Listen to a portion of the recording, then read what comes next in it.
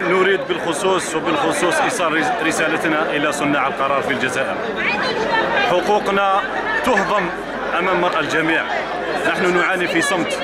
نحن نعاني لمدة سنتين منذ 2016 أو ثلاث سنوات. تأخر في الأجور تعسف توقيفات تعسفية. آه، الآن ثلاث أشهر بدون أجر. 400 عائلة مهددة بالتجويع. مصيرنا مجهول. نريد من صناع القرار في الجزائر أن تؤخذ وضعيتنا بعين الاعتبار.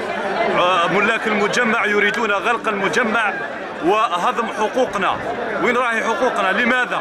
نحن اليوم هنا من أجل إسماع صوتنا للرأي العام الجزائري بالخصوص ونطالب السلطات التدخل التدخل العاجل لحماية الصحافة اولا لأن الصحافة هي لسان حال كل الجزائريين. وقفنا مع الشعب الجزائري منذ 22 فبراير وقبل هذا التاريخ.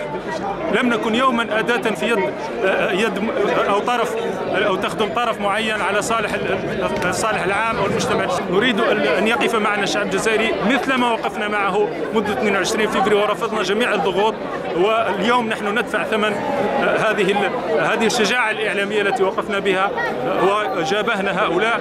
صامدون صامدون لا لغلق المجمع. صامدون صامدون لا لغلق المجمع. صامدون صامدون هذه الوضعية نتاج إصرار وتعنت نظام الرئيس السابق عبد العزيز بوتفليقه في عدم تنظيم قطاع الصحافة عموما وقطاع السمع البصري على وجه التحديد لأنه هؤلاء الذين كانوا في السلطة حقيقة اسم العصابة ينطبق عليهم. كانوا حابين هذه الوضعية هذه الفوضى آه، الخلاقة عدم تنظيم.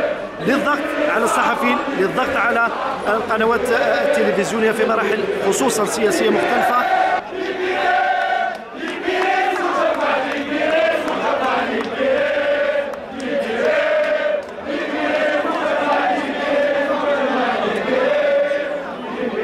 من يقول بأن مجمع الوقت الجديد للصحافة يعيش ظروف مالية صعبة فهذا يحتاج إلى تأكيد من السلطات العليا التي تملك المعلومة. نحن لا نملك المعلومة. هم يقولون بأننا لا نتلقى آه، آه، حساباتنا معطلة أو مجمدة.